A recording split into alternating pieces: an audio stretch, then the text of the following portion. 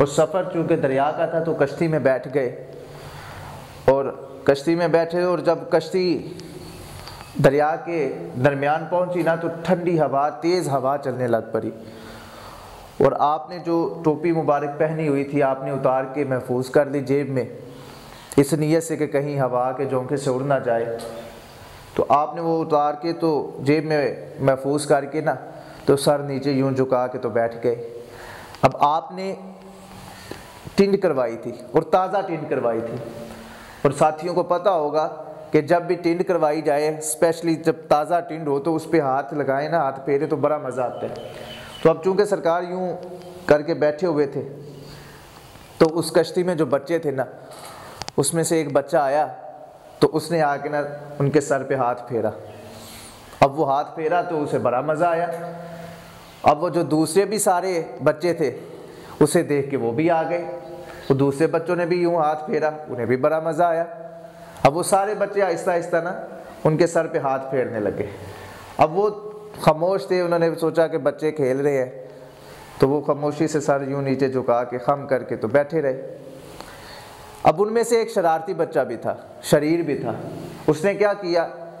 दूसरे तो हाथ फेर रहे थे ना तो उसने यूँ किया कि उसने ना थप्पड़, यूँ थप्पड़ मार दिया सर पे। टिन मुबारक पे। तो अब उस थप्पड़ से शोर पैदा हुआ। अब वो थप्पड़ से जब शोर पैदा हुआ तो वो बड़ा मुस्कुराया, बड़ा हंसा। और वो उसको देख के तो फिर दूसरे बच्चों ने भी थप्पड़ मारने शुरू कर दिए।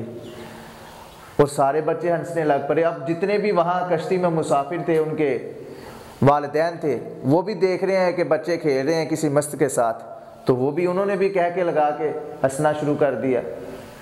और इतना जब तूफ़ान बरपा हो गया बदतमीज़ी का तो फिर उन्हें इल्हाम हुआ कि, ए मेरे बंदे, अगर तू कहे तो मैं इस कश्ती को गर्क ना कर दूँ यहीं।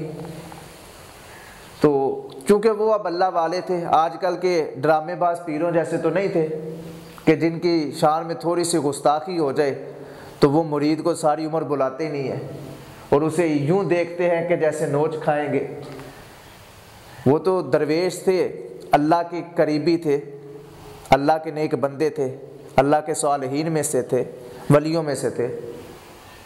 तो उन्होंने ना, जब उन्हें ये इल्हाम हुआ तो उन्होंने अर्जी के अब बारी ताला, अगर तुम्हें कश्ती पलटनी ही है तो इनके दिल की कश्ती पलट दे। उनके बस ये अल्फाज कहने की देर थी तो फरमाते हैं कि जितने भी उस कश्ती में सवार थे, वो सब अल्लाह के वली बन के निकले। तो दोस्तों बेलियो, अल्लाह के वली की पहचान तो ये है कि वो हमेशा दुआ देता है बद दुआ नहीं देता। तो अल्लाह के वलियों से प्यार किया करे, उनका तमस्खुर, उनका मज़ाक ना उड़ाए।